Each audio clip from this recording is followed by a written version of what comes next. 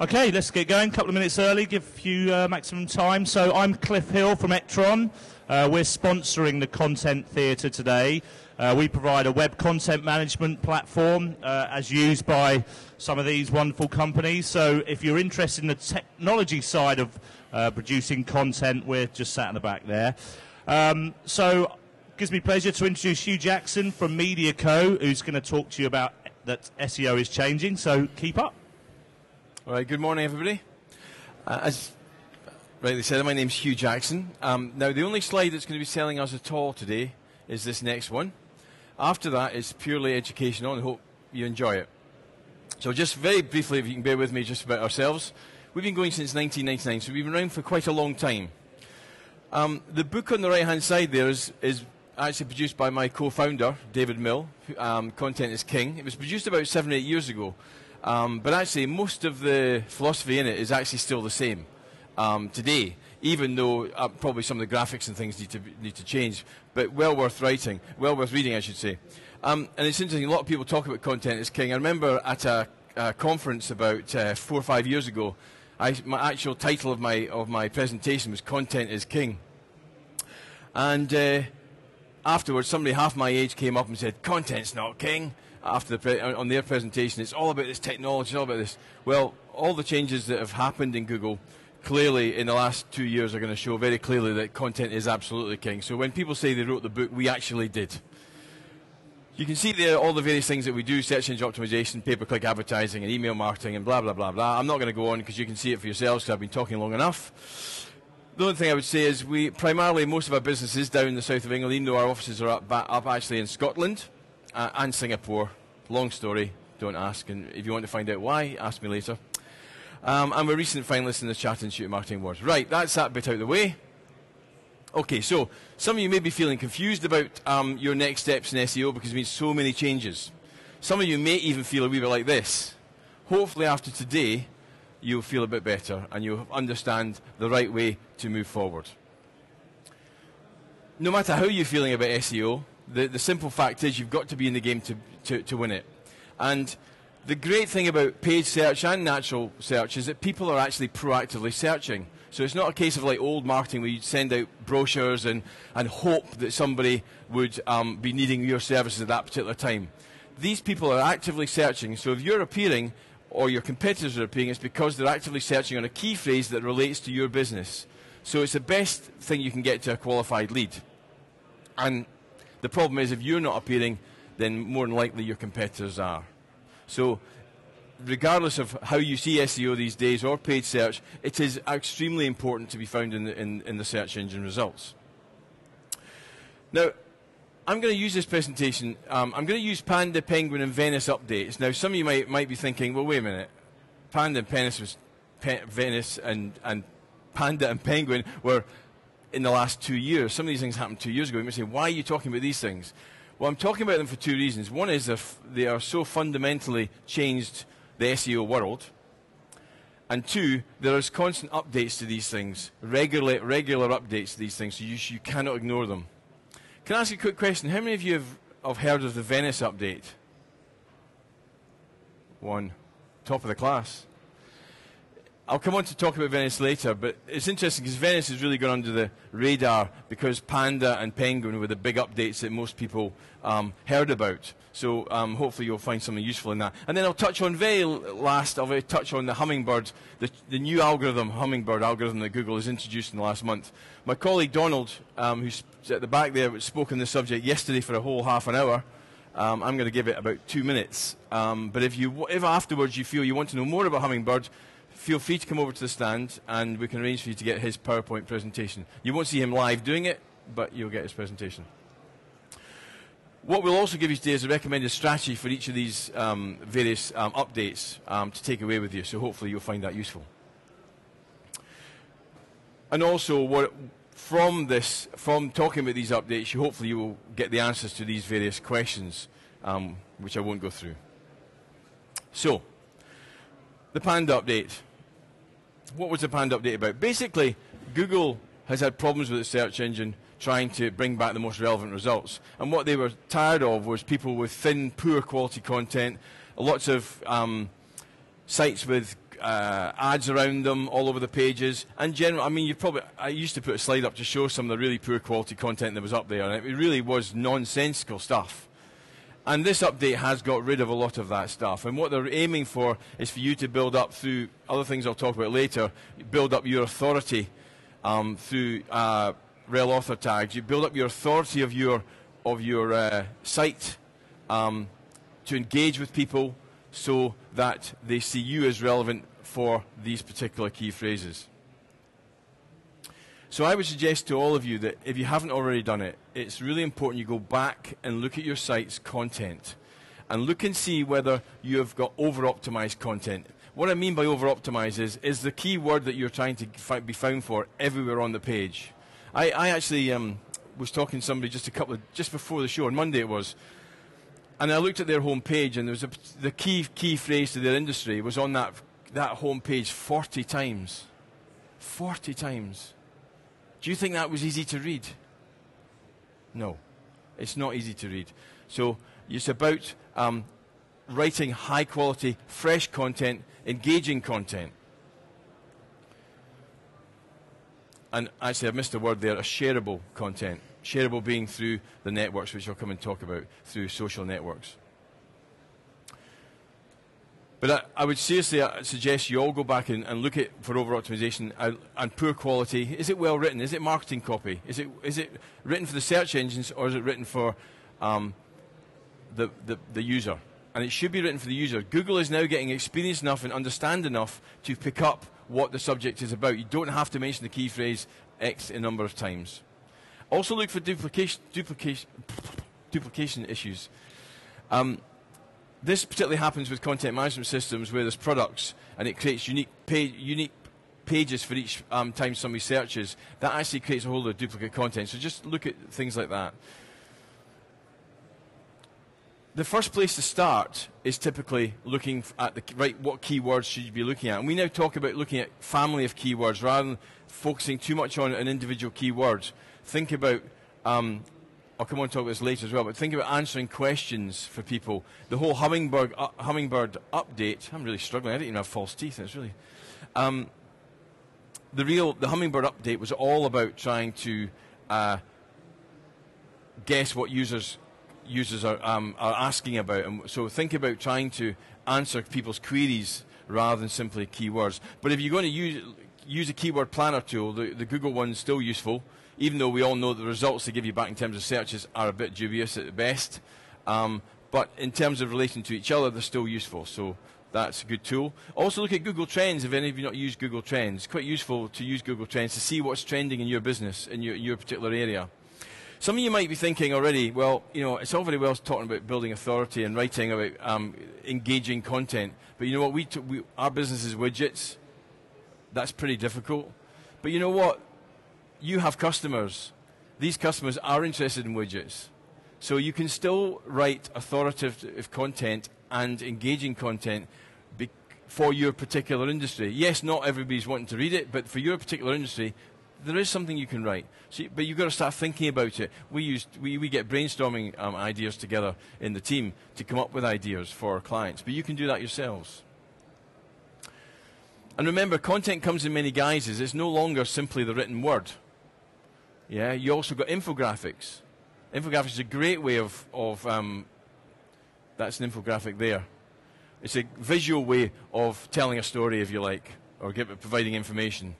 Um, and also video. Video is also a um, really useful way of informing people and engaging people, more so than the written word. And if you are going to use the written word, come up with quite nice headlines. Biggest threat to the economy could come from outer space you're sort of drawn to it, aren't you? Yeah.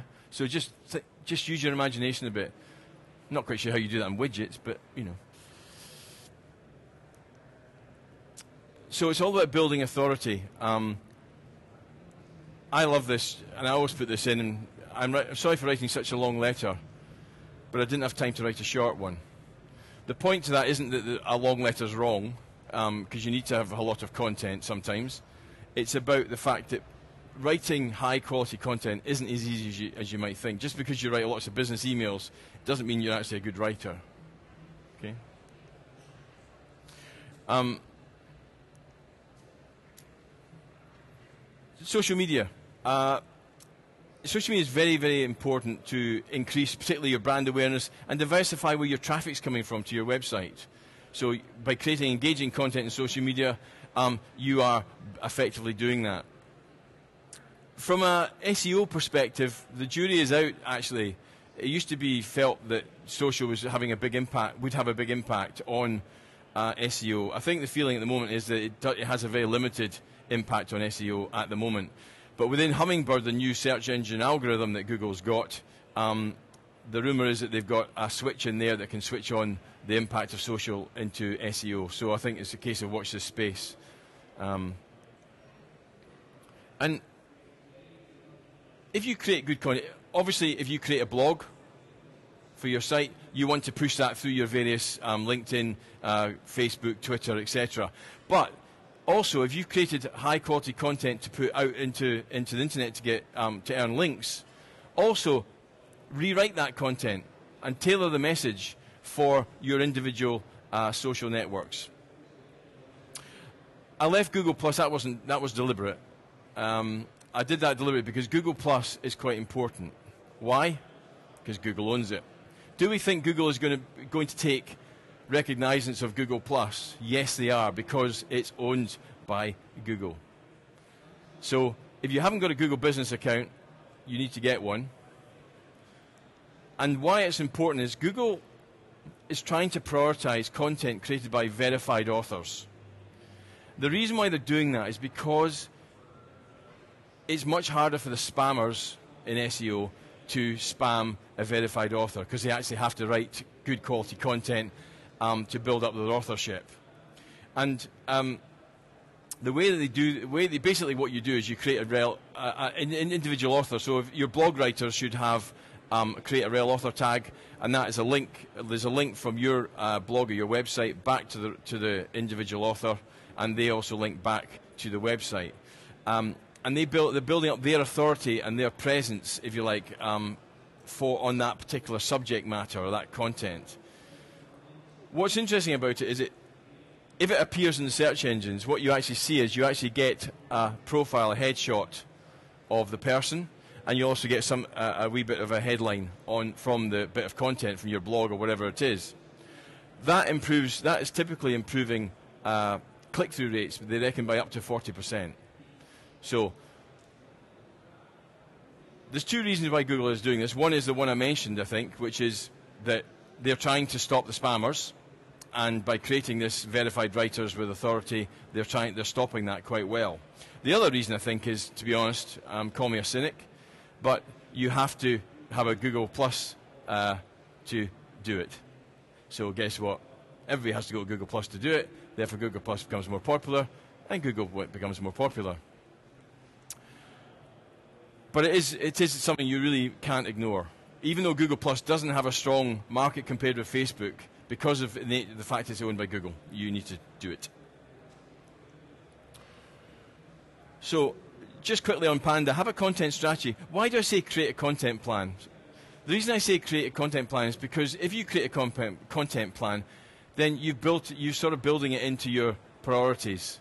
If you don't, it's just a case of, oh, we'll write that bit of content sometime and it'll never get done. So you, by building a content plan, you're much more likely to do it and, and do it properly. As I just, I'm not going to go through all these because I've, I've highlighted them all already, but utilize the trends, um, as I said, even in your business, if you think it's not that interesting, other people, your customers will find stuff interesting. Therefore, there is something to write about. Just have a think about what it is. Write for the content for the users and not for the search engines anymore. And verify your author status using rel author tag. That's probably the key ones there. Right. So, Penguin. Who's, who's ahead of the Penguin update? Yeah, quite a few. This was probably the one that had the most significant impact on, on, on a lot of sites. Why? Because they changed, um, they talked, the links that were previously deemed to be okay were suddenly deemed by Google to be bad. Um, but let's, before we do that, let's just have a reminder why, why Google or Google started to see signals from other websites as being important. There's three things. Is that my phone? There's three things that are important in terms of your your search positions. One is your um, the way your site is structured, which I've not really talked about to, at all today, but it's really quite important. Um, how your site is structured and how search engine friendly is it. I'll give you an example. We had one client recently where we actually went into their, um, uh, we did a site audit and we discovered that a site was spamming their site. They'd actually created, they'd somehow got into the content management system, created pages which were automatically shooting off to another site, which were then trying to get credit card payments for Viagra or something. Now, it was obviously a, some sort of really dodgy scam, and they had no idea that this was happening. Now, that's very extreme, but because the content management system wasn't secure enough, it, it was happening. So, I'm, I'm not talking about that type of stuff today, but it's quite important. The other, the other key thing that they look for is what you tell them they're about, which is on their your website, and that's why the, writing the content on your website is really important. And the third thing they were saying is, well, that's okay. You're telling me that's what you're about. Actually, I want third-party verification of that, that, that, that other people think that's what you're about. And that's why they started to talk about um, how many other people and who is linking to you. And that's why um, links were important and still are important. Because they're effectively external votes from other sites. And then the Penguin came along, Penguin update came along, and what they were trying to do is get rid of what they would call poor quality links. And there was things from links from poor quality sites, um, links from sites that are involved in link schemes, and from different link networks. The interesting one there is actually the um, they also sites that had lots of key links with their key phrase in that link were also um, penalised. And it's quite interesting because Google at one point was sort of saying that that was the right thing to do, and then suddenly they just changed the goalposts. So, uh, you know, I have some sympathy with sites that that happened to, to be honest, because um, Google did just suddenly change the, the, the rules overnight. Having said all that, I think the reason they did it is, is genuine, and I think what they were trying to do does make sense. So, for once. If you have, I'm not going to go through this in too much detail, but um, if you have had a penalty of some sort, you can get a manual penalty and you can get a, an automatic um, uh, link warning. And if you did get that, or you are, or are getting it, um, then you need to go through a process to uh, try and eliminate that stuff from your site. And there's some useful tools like Majestic and link research tools to identify.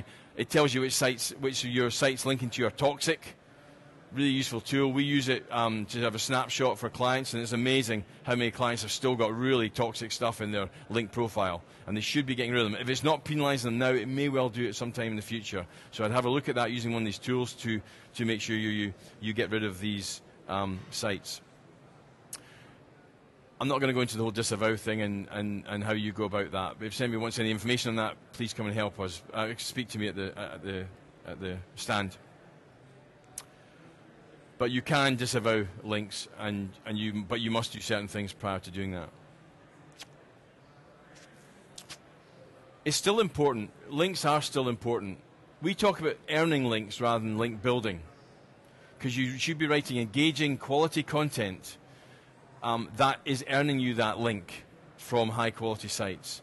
The way we do this is we brainstorm ideas, we then research and come up with unique articles or infographics, whatever the content is, and then you need to identify sources or, or resources which um, you can repurpose and share that you've already got. Um, then you build relationships with these other sites by communicating with them and saying what quality content you've got. Would, would this be of interest to you?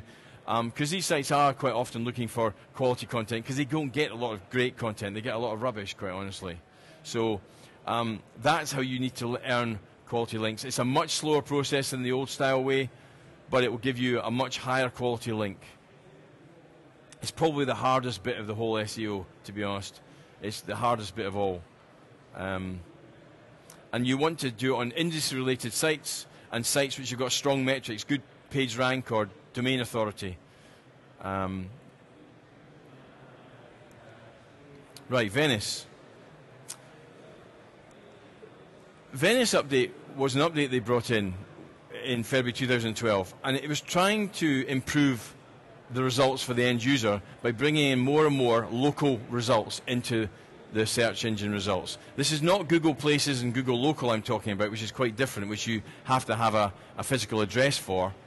Um, this is on certain types of queries um, they would pull back results. They would understand what location you were in. So if you're based in London, they would bring back a mixture of national results and local results. And you can tell that by looking at the title tags and things. You'll see that many, certain ones of those will be from London if you're from London, if you're um, Manchester, Manchester. This can have a huge effect on your business, positively or negatively. I'll give you an example. We have a client who's in distance learning, and they've got a key phrase for their most important course, and they got to number one for the UK. Um, but when, what's happened with Google Venice is they've ratcheted it up, so they've included more and more and more phrases, and suddenly a phrase which is about a, a, a course is now being seen as local, even though distance learning by definition is anywhere. But because the word distance learning isn't in it, it's just the, the, the design course that's in it. What that means is they're now not appearing at number one for somebody in London because they're not based in London. They're now appearing in number position seven. All that traffic they were previously getting at position one, and they were still at position one if you put in UK as a location. All that traffic, they're now at number seven and they've done they've nothing. They're still seen as number one in Britain, but it's because Google has now deemed the results to be more localized. They're giving London, uh, uh, particular London sites back instead. So it can have quite a big impact on your business. So um, you need to understand that. Um, just as an example, this is uh, if you type in chocolate. This is a good example of how you do it. If you type in chocolate shops. Um, and you're based in Edinburgh, Hotel Chocolat appears. They've actually got a shop in Edinburgh, and, and it appears in, in their number one position. You go to Chester, and they also appear because they've also got a shop in Chester, and they've and they've. So how did they manage to do that? How have they done that? Well, because um, remember, we're not ty- typing in chocolate shops Chester or chocolate shops Edinburgh, but Google has de- decided that that phrase should bring back localized results. Okay? That's the fundamental difference. How they did it was they created unique localized pages.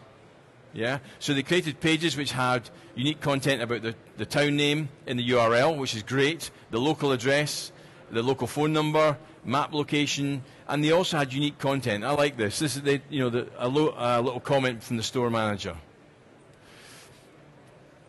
What you can't do is have a page for each location, and all you're changing is location name from Manchester to London to Birmingham. No. It has to have unique content.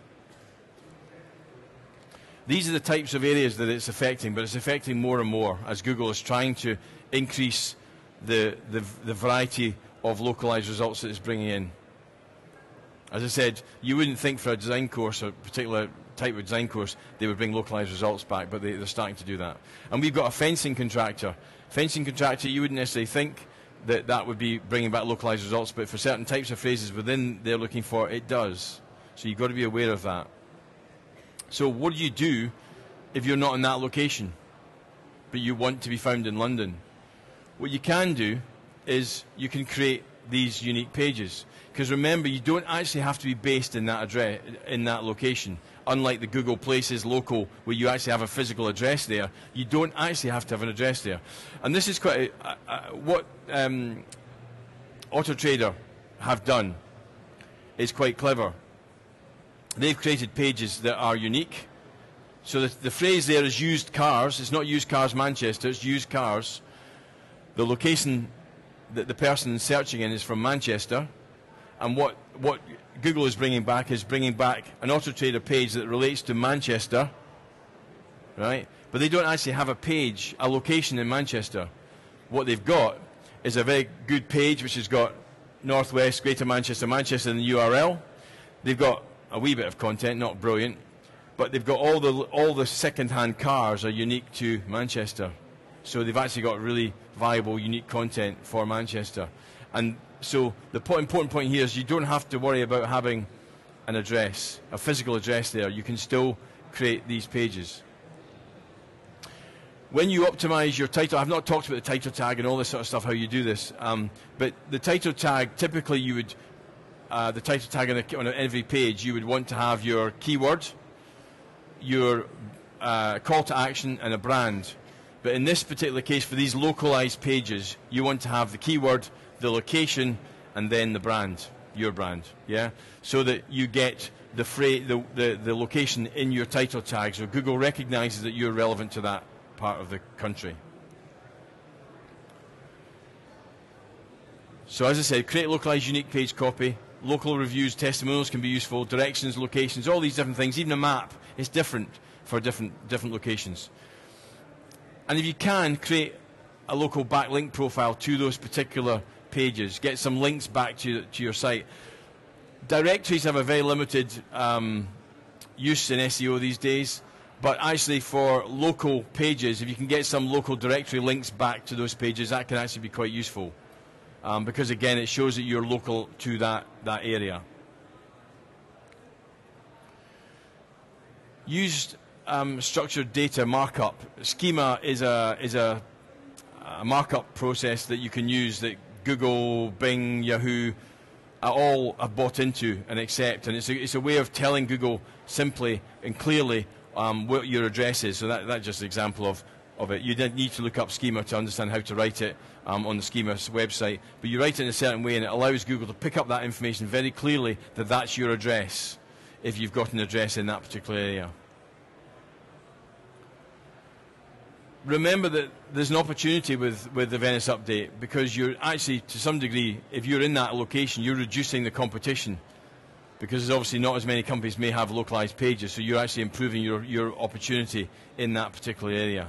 And use unique landing pages, as I've talked about, and build some authority to those unique landing pages. If you've got a local address and phone number, brilliant, even better, but it's not absolutely necessary. Okay. Um, last is the Google Hummingbird update. Um, this is sorry, it's not an update. It's a new search. It's new algorithm, completely new algorithm. Basically, they've they've they've changed the other algorithm so many times that they've they've had to really clean it out and, and, and sort it. But there's fundamental changes in it, and they called it Hummingbird because it's of precision and speed. Um, what this is trying to do is to understand more the user's intent, understand longer tail uh, searches better than they have previously. They used to pick up on, you know, if it's the best pizza in London, they would pick up on pizza in London, but not the whole question and the intent of, of the question. And this is what they're trying to do with it. Um, I thought this was really interesting. 25% of queries across the world that they see every day are brand new and never been seen, never been a query before, which I find extraordinary. But it shows you the extent and the, and the, the long tail, if you like. And as I say, they're trying to get away from results and more towards answers, answering people's questions. So you need to think about that with your own content, thinking about trying to answer people's um, questions rather than simply about keywords as such. I put this one in just, uh, this, this, I nicked this from my, uh, I should say, from my colleague's presentation. Um, the knowledge graph is something fairly new, um, and they're sort of rolling it out, so it's not that common at the moment. And what's interesting about this, this is you, you, their Google Knowledge Graph, and, and, so if you now type in the most famous scientists of all time, they, they pull up a whole load of um, people you can, you can scroll along it uh, to see which scientists you would like to click on, and then it clicks you through to more pages. And even these pages here, these, these links here, this is all on Google. You're not going off to another website. This is all on Google. So Google is trying to get people to stay longer on Google. Let's make of that that we will. I, mean, I don't know where that's going.